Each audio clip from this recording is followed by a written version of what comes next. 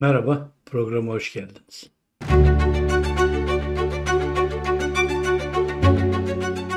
Böyle bir dönemde seçimlerden, seçimlere üç gün kala seçimlerden bahsetmem gerekirken e, bu sönmez ateşin ifadesini okumam belki size garip geliyordur ama hele e, son 2-3 gündür yapılan kimi açıklamalardan dolayı e, neden bahsetmediğimi daha iyi anlamaya başladım.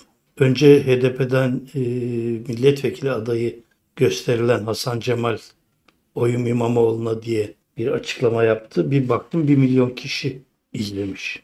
Yani okumuş yazıyı.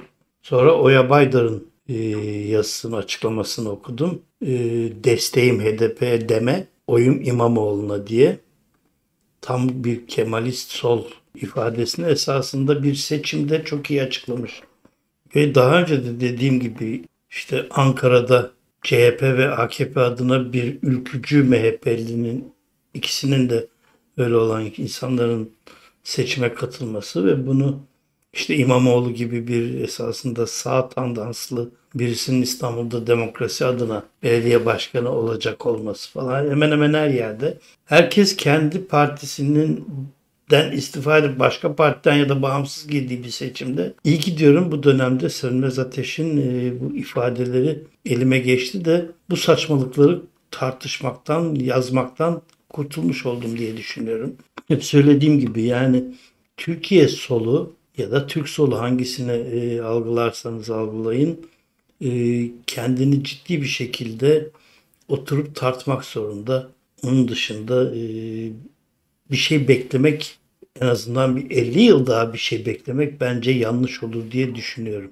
Bilemiyorum siz nasıl düşünüyorsunuz. Belki de haklı yanları vardır. Yani şöyle bir mantık işte ben Lenin'i Che Guevara'yı destekliyorum. Oy olarak Atatürk'e oy vereceğim. İşte ben e, özgürlüğü savunuyorum. ırkçı bir adaya oy vereceğim. Demokrasi adına gibi bir saçmalıkla dolaşıyoruz ortalıkta. Evet, e, bugün Sönmez Ateş'in e, ikinci bölümünü, ifadenin ikinci bölümünü vereceğim ama ifadeler uzun olduğu için, iki bölümler uzun, bu bölüm uzun olduğu için bunu e, iki ya da üç bölümde anlatmaya çalışacağım. Çünkü darbe ve Türkiye Devleti'nin yönetiliş biçimi gerçekten karışık. Uzatırsam hem sıkılabilirsiniz hem anlamakta zorlanabilirsiniz. Çünkü bize yönetilen sistem anlatılmadığı için biz bu sistemi e, bir takım insanlar biliyoruz ama halk yönetilen halk e, tam olarak ne olduğunu nasıl yönetildiğimizi bilmiyor. E, aklıma gelen bir anımı anlatmak istiyorum 12 Eylül sonrası. İşte Düşün Yayın Evi'ni kuracağım. Gazeteciliğe bir yani muhabirliğe bir ara verdiğim dönem işte şirket halinde e, kuracağım. Şirket olması için e, Ali Amerika'da ama ondan bir ortaklığımız var. yüzde onluk şirket olması için iki kişi gerekiyor. Şirketin bir takım avantajları var diye tek kişilik kurmadım. Bir takım işlemleri yapmak yaptırmak için şirketin adresini muhtarlıktan aldığınız belgeyle ticaret gazetesine yayınlanacak ticaret odasına falan bir yerlere vermeniz gerekiyor. Ben de muhtarlığa gittim. Kenan Evren e, faşizmi muhtarlığa şöyle bir yetki vermiş. Ben orada oturup oturmadığını bilmiyorum. Bunu tespit etmem lazım. Nasıl tespit edeceksiniz dedim. Apartman yöneticisine soracağım dedi. Peki dedim apartman yöneticisine siz mi soracaksınız? Ben sorabilir miyim? Şimdi eve gidiyorum. Muhtarlık yakın. Ee, sorun bana bildirsinler dedi. Apartman yöneticisine gittim. Dedim ki muhtarlık böyle böyle bir şey yeni adet çıkartmışlar böyleymiş. Evet dedi. Benim de kapıcıya sormam lazım. Kapıcı da e, ara sıra geliyor diye bir açıklama yapmış. Apartman yöneticisine çok ağır konuştum. Çok ağır sözler söyledim. Sonra muhtarlığa gittim. Ona dedim ki ya sizde tapu gözüküyor mu? Bu daire kimin olduğu gözüküyor. Kim nesin? Benim kimliğime bakıyor musunuz? Bakıyorum. Kim nesin? Yani siz neyi araştırıyorsunuz dedim yani. Kira kontratı sordu bana da. Hepsine e, gelip gittiğimi anlayınca ki, kira kontratı sordu. Ben dedim ya babamla mı ya da Nesin Vakfı'yla mı yapacağım? Ki sonradan Nesin Vakfı'ndan bir daire için kontrat yaptım. O da ayrı. Yani yapılması gerekiyordu. Nesin Vakfı'nındı. Demek ki o Nesin Vakfı'nın olmadığı için kontrat yapmadım. Babamındı. Babamla da baba ol. Hadi kontrat yapalım şu kadar bak gecikirsen falan diye bir şey olmadı tabii aramızda. Bu devletin halkı yönetme biçimi. Bu hükümetlerin aldığı karar değil bunlar. Devlet alıyor bunları. 12 Eylül faşizminin getirdiği bir karardı. Ee, niye bunu söyledim? Sönmez Ateş'in bu açıklaması, ifadesi bu bölümü, giriş bölümü yani ikinci bölümün giriş kısmı gerçekten çok önemli. Benim söylediklerime biraz tıpatıp uyuyor. TSK'da darbelerin anatomisi. Darbe konusuna girmeden önce daha önce bahsettiğim vesayet rejimine açıklık getirmek lazım. AKP'nin iktidara geldiği, ilk geldiği yıllarda bakanların ismini kuvvet komutanlara komutanlarına onaylattığından bahsetmiştim. Vesayet rejimi rejimlere seçimlere girmeden sandıkta yer almadan perde arkasında devleti yöneten asıl merkezdir. Seçilme seçilmeme gibi bir kaygısı yoktur. Seçilen hükümet vesayet rejiminin çizdiği saha içinde yaşamak zorundadır. Sınır aşımında ise şiddetine göre bedel öder. Vesayet rejimi merkezi Genelkurmay karargahıdır. Vesayetin başı Genelkurmay Başkanı'nın kendisidir. Dört kuvvet komutanı ise onun asli yardımcılarıdır. 1958-60 yıllarındaki Rüştü Erdelhun ve 2002-2006 yılındaki İlmi Özkök dönemi birer istisnadır. Onlar vesayet rejimi başı olmayı reddetmiş, demokrasiyi savunmuş ancak bunun da bedelini ağır ödemiş tarihteki özel figürlerdir. Vesayet rejimi bakanları seçer de devletin diğer organlarını öylece bırakır mı? Elbette hayır. Vali, müsteşar, rektör seçimleri vesayet rejimine tabidir. Hatta spor federasyon başkanları gibi devletin küçük altyapı taşlarının bile son onay noktası Genelkurmay Başkanı'nın ta kendisidir. Şener Erurgur jandarma genel komutanı iken üniversitede üniversite rektör seçimleri dosyası hep elinin altındaydı. Hatta çok uyumlu çalışmalarına rağmen bazı rektör tercihleri Ahmet Necdet Sezer ile aralarında sorun çıkmasına neden olmuştur. Vesayet rejiminde valiler işlerini yaparken son kararlar geri plandaki aslında ilin gerçek birinci adamı garnizon komutanı tarafından alınır. Valiler generallerin sözünden dışarı çıkamazlardı. Vesayetin maddi kaynaklarından biri oyaktır. Aynı Mısır ve İran'da olduğu gibi ordu en güçlü holdingin de sahibidir. Bugün TSK vesayet rejiminin merkezi değildir. O zaman meclis artık rahat rahat demokratik bir biçimde ülkeyi yönetiyor diyebiliyor muyuz? Hayır. Vesayet değiştir rejimi el değiştirmiştir. Artık merkez saraydır ve meclis eskisinden daha da işlevsiz hatta gereksiz bir konumdadır. Parantez içinde. Bu arada ben e, aynı şekilde düşünmüyorum. Hala vesayet rejiminin asker ve sarayı da kontrol ettiği düşüncesindeyim. Bunun da örneklerini e, görüyoruz zaten. Gelelim ihtilallere. Sınırı aşanlar muhtıralarla tekrar sınırın içine çekilir. Bu yeterli görülmezse ihtilal kaçınılmaz olur. Bu arada e, ihtilalden kastettiği darbeler ileriki yazının diğer bölümünde ikisini aynı anda söylüyor. Türkiye'de bir gelenek darbeleri hoş anlaşılmaz diye 12 Mart ihtilali 12 Eylül ihtilali diye anlatmışlardır. Basın da buna e, ciddi bir şekilde peşkeş çekmiştir. İşte bu yüzden TSK ihtilal kartını kullanabilmek için devamlı bir teyakkuz halindedir. Her döneme ait arka planda bir ihtilal parantez içinde darbe planı vardır. Parantez bu sefer e, kendisi tarafından konulmuş. Bu konuda devamlı çalışan bir ekip vardır. Eskiler hatırlar Genelkurmay'ın ışıkları sabaha kadar açıktı gazeteler aracılığıyla, siyasilere bir uyarı niteliği taşıyan bu haber çoğu kez işe yaramış, siyasiler hizaya gelmiştir. Genç subaylar rahatsız manşetlerini de unutmayalım. Vesayet rejimi merkez rolünü tam olarak reddetmeyen ama rolün gereğini de tam yerine getirmeyen son genelkurmay başkanlığını soruyorsanız 2011-2015 arasında görev yapan Necdet Özel ve hemen arkasından gelen 2015-16 arasındaki Hulusi Akar'dır. 15 Temmuz 2016 sonrası Hulusi Akar ise artık bambaşka bir roldedir. Bu konuya sonra gireceğiz. Ergenekon, balyoz, askeri, casusluk vesaire olmasaydı Hulusi Akar tüm generallikten emekli olmuştu. Genelkurmay Başkanı'nın olmasını Ergenekon balyoz tutuklamalarına borçludur.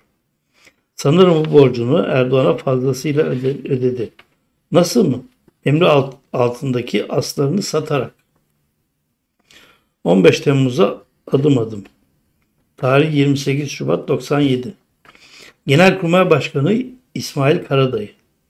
İsmail Hakkı Karadayı asker kişiliğine rağmen yaptığı siyasi hamlelerle ve bu hamlelerin siyasi ilişkilere etkisiyle cidden dönemin en önemli figürlerinden. Soğukkanlı, aceleci olmayan, olayların önünü arkasını en ince detayına kadar düşünen siyasi bir dehadır. Açıkçası hem iyi bir asker hem de iyi bir siyasetçidir. Öncelikle hiçbir ihtilal, hiçbir darbe Genelkurmay Başkanı'ndan habersiz yapılamaz. 60 ihtilali ile 2002-2006 dönemi birer istisnadır.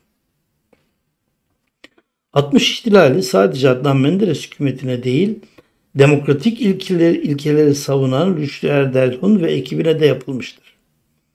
Beş dil bilen, çağının ötesinde bir entelektüel ve iyi bir asker olan Erdelhun Paşa hapse atılmış, hakaretlere maruz kalmış, Fatih'teki küçük bir apartman dairesinde yatalak kalan, kapısına bakarak hayatının son dönemlerini ev hapsinde geçirmiştir. O dönem 2500'ün üzerinde subay, general ordudan tavsiye edilmiştir. Tasfiye sonrası yeni komuta kademesi Mısır ve İran'daki gibi Cumhuriyet tarihinin en güçlü vesayet rejimini kurmuşlardır. Oyak da mali bacağıdır. 28 Şubat'a dönecek olursak yaşananlardan birkaç örnekle o zamanları hatırlatayım. Hatırlayalım. Bugün en çok öne çıkan başörtülü kızların, kızların üniversiteye alınmamasıydı. O günlerdeki ateizm deizm arasındaki düşünce hayatımda bu konuyu kabullenmekte güçlük çekiyordum. Başörtüsü nedeniyle bir insan nasıl üniversiteye alınmaz? Bu nasıl bir zihniyeti anlamıyorum. Anlamıyordum. Hoş bugün de başörtüsüzlerin daha açık yazarsak AKP gençlik kollarında olmayan bir bayanın kamuya girmesinin engellenmesini de 28 Şubat zihniyetinden farklı görmüyorum. O gün başörtülülere yapılan haksızlıklar bugün başı açıklara yapılıyor. 28 Şubat sürecinde ordu içinde ne oldu? Elbette başörtüsüne, başörtüsüne savaş açıldı. Lojmanlara giriş yasaklandı. Yani başörtülüyseniz artık ya evinizden taşınacaktınız ya da evinizde oturmayacaktınız. Eşiniz başörtülü bir subay veya subaysanız dilekçeyle oradan ayrılmanız istenirdi. Yapmazsanız önce hapse atılır sonra atılırdınız. Aynı 15 Temmuz sonrası KHK kararları benzeri bir süreç işletilirdi. TSK'da başörtülü, başörtü hassasiyeti eşlerle sınırlı değildir. Annesi veya yakın akrabalar da taramaya tabidir. Bu dönem geçiş geniş bir fişleme çalışması yapılmış. Bu çalışmanın devletin diğer sivil kurumlarında da yapılması için talimatlar verilmiştir. TSK için nurcular bir dönem baş düşmandır. Daha sonra bunu Fethullah Gülen cemaati eklenmiştir. Vesayetçilerce irticanın ve gericiliğin merkezi bunlardır. O zaman hayat hakları yoktur. Bu dönemde üstünüzde veya evinizde Said Nursi'nin külliyatı bulunursa bu kesin ve yeterli delildir. Atılmayı, cezalandırılmayı fazlasıyla hak etmişsinizdir. İtiraf etmeliyim ki ben o dönemde her ne kadar başörtüsü konusunu saçma bulsam da Said Nursi'nin veya Fethullah Gülen'in kitaplarıyla yakalanan bir askerin suçlu olduğuna inanırdım. İlginç olan kitapların içeriğini hiç bilmiyordum. Hiç okumamıştım. O dönemde Karl Marx'ın kitabını yakalatan da yeterince suçlu sayılırdı. Ben bunu saçma bulurken diğer kitaplara yani Said Nursi kitaplarına negatif bakıyordum. Said Nursi'nin bazı kitaplarını bugün ilk defa sahnede okudum. Sadece Kur'an ayetleri ve hadis üzerinden açıklamalar getiren Bir tür Kur'an'ın tefsiri açıkçası. Bunun geçmişle neden suç geçmişte neden suç teşkil ettiğini bugün anlayamıyorum.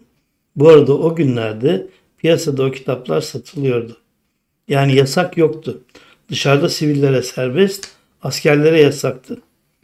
Askeri vesayet hukuku işte. 28 Şubat'la ilgili bu anlattıklarıma yaşanmış bir örnek verelim. Hava kuvvetlerinden binbaşı Cüneyt. Eşi türbanlı bu yüzden lojmanda oturmuyor. Nurcu da değil, Fethullahçı da değil. Bir gün çok yakın arkadaşı olmayan, uzaktan tanıdığı bir asubay ziyarete gelmek istiyor. Kabul ediyor. Asubay misafirliğe gelirken yanında birkaç teğmenle geliyor. Cüneyt teğmenleri tanımıyor, ilk defa görüyor. Misafirler eve geldikten kısa bir süre sonra kapıdan, pencerelerden, balkondan içeriye jandarma baskın yapıyor. Assubay yanında bir çantayla gelmişti. Baskında ev aranıyor ve çantada suç delilleri bulunuyor. Kur'an-ı Kerim, hadis kitabı, Said Nursi'nin bir, birkaç kitabı. Cüneyt Binbaşı, Assubay ve teğmenler kelepçelenip götürülüyorlar. İtimeskut'ta hava üstünde Cüneyt Binbaşı bir odaya kilitleniyor. Hava kuvvetleri istihbarattan subay ve asubaylar sorgulamaya başlıyor. İşkenceden geçiyor. 4-5 gün sonra Cüneyt Binbaşı serbest bırakılıyor. Hava kuvvetlerine gidip emeklilik dilekçesini veriyor. Şimdi baştan alalım. Cüneyt Binbaşı'nın evi polis bölgesinde. Yani jandarmanın yetkisi dışındaydı. Hadi jandarma, evinden aldı diyelim. Askeri mahkemeye çıkması gerekiyordu. Hava üstünde bir odaya değil, Hava Kuvvetleri istihbaratçılarının sorgulama yetkisi yoktu. İşkence yetkisini söylemeye bile gerek yok. Sonuçta her kuvvetten yüzlerce subay, assubay bu süreçte ordudan bir şekilde bir yöntemle atıldılar. Yöntemler hukuk ve insanlık dışı. Aynı 15 Temmuz ve sonrası gibi. Hava kuvvetlerindeki yalan makinesi yıllar sonra 15 Temmuz 2016'dan yaklaşık 6 ay sonra FETÖ itirafçısı olan Albay Emin Mert ve Albay Selçuk Başyiğit tarafından 2010 sonrası parçalanıp yok edilmiştir. Yalan makinesinin hava kuvvetlerinde ne işi vardı? FETÖ'cüler tırnak e, parantez içinde kendi itirafları olduğu için böyle diyorum. Bunu neden imha etmişlerdi? Evet, ikinci bölümün bir kısmını anlattım. Bu kısmından sonra e, yarın e, Pardon yarın e, yayın yok. Cuma günü e, Erkam Tufan'la yayındayım. Cumartesi de büyük bir olasılıkla seçimin seçim öncesinin son günüdür. Artık devamını pazartesi Türkiye çok büyük sürprizlerle karşılaşmazsa seçimler dolayısıyla e, HDP Dem İstanbul'u almazsa ne bileyim buna benzer güzel bir takım şeyler olmazsa pazartesinden sonra devam edeceğim. Sanıyorum e, 4-5 program daha sürecek. Fakat e, ben çok önem veriyorum. Umarım siz de önem veriyorsunuzdur. En azından e, devlet mi hükümeti yönetsin, hükümet mi devleti yönetsin tezim bir general tarafından bir mahkeme tutanağı olarak açıklanmış. Bu benim için çok önemli. Evet bir programın daha sonuna geldik. Bir dahaki programda görüşmek üzere. Thank you.